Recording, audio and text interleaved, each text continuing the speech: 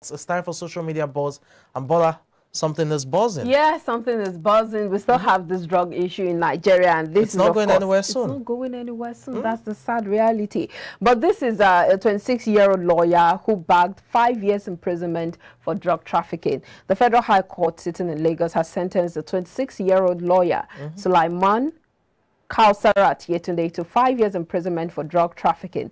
This comes following her guilty plea to charge of conspiracy and unlawful export of 1.1 kilograms of cannabis sativa.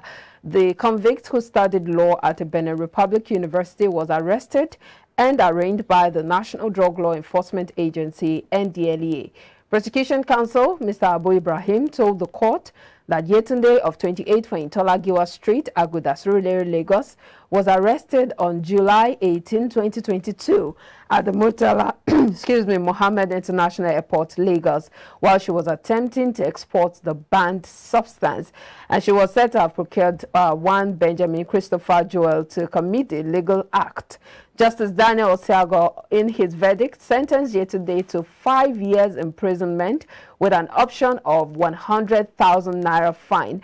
Now, before I take the comments, mm -hmm. uh, you'd see that uh, even the consequences look very trivial. Exactly. 100,000 naira fine compared to five years -huh. imprisonment. Uh, uh, it's, it's quite shocking to say the least. If we really want to wage the war on drug trafficking and ensure that we do not have, you know, hard drugs on our streets where mm -hmm. the average Nigerian can just, you know, have access to, especially the youths, then we need to have stiffer punishments in place. If you say five-year jail time, yes, that's um, a, a better way to fight it. But when you now give an option of a hundred thousand. It's not even ten million, mm -hmm. you mm-hmm. know, a hundred thousand. I mean, that's ridiculous for someone who claims to be a lawyer or who is a lawyer. She can easily find one or two friends that can lend her that money if she doesn't even have it. You know, and for a drug trafficker you would expect that such a person has 100,000 naira mm. in, in the coffers. So, but really, are we serious about tackling this crime? Because th that's the issue. If you think about the consequences you're giving someone mm -hmm. who has been caught you know, trafficking drugs, a hundred thousand naira. You wonder if really we're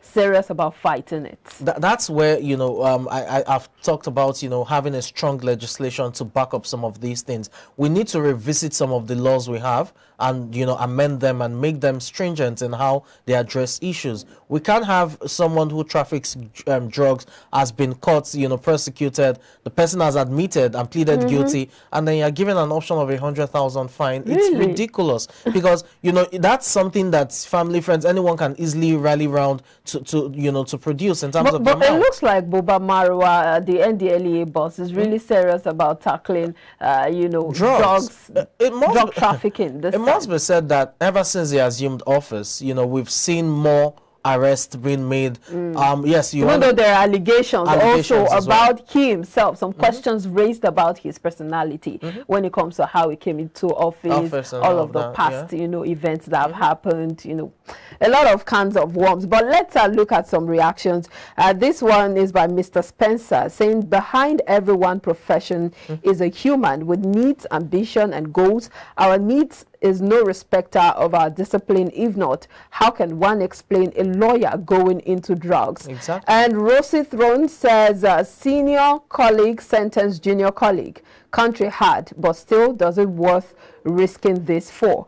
And also we have uh, Hadiza Aloba saying ex-convicts don't choke for Nigeria, this country, chai. If you look at the fact that a lot of people are being sentenced to court, uh, or rather sentenced to jail, jail. We are going to have a lot of ex-convicts mm -hmm. in the country, and it shows the high level of crime in the country. Well, so many reasons, you know, to attribute to that. We, we, talk about the high rate of unemployment, inflation, and all of that. Certain government policies that you ASUU know, strike, uh, students are idle. Exactly, certain government policies that strip people of their livelihood without providing alternatives. Mm. That will also contribute to it. We've talked about, you know, the motorcycle ban or kada ban, as it were, and how we, um, lack of alternatives can push some of them to crimes. crime. again, there's no justification for delving into crime, but we also have to be realistic that Hmm. human um, humans need a means of survival, and if they don't get the legal means, they'll resort to the illegal means. So Hmm. all of these are the issues, and I hope that we, we get better. But we need to do more with the laws of the land in terms of Hmm. fighting drug. Well,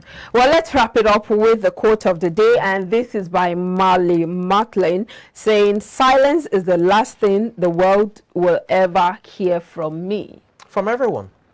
It says what it says. Um, it, it's strong. It's it's beyond what's on the surface. You know, Mm. you, you look at the place of um, death, and you know that. I mean, at that very last point, it's silence. Yes. Even when you have your, You have no know, choice. Mm. your your wishes and all. Oh, do this. I wish you. You pray for your grandchildren, whatever it is. That's the last thing. You Although sometimes silence is golden. Golden, Sometimes you you have know. to just keep quiet. Exactly. So um, you have to look at it on a broader scale. Mm. Um, if it has to do with death, which looks like the surface thing, you know quite well. But when you look at it, you know beyond that, you realize that it's just Mm. about having to keep one's peace. All right, this is why we keep silent on the show. Thank you so much for being a part of iBrand Daybreak today. My name is Omobolanle Adeshi. Have a good day. And I'm Samson Lady. Do have a great day.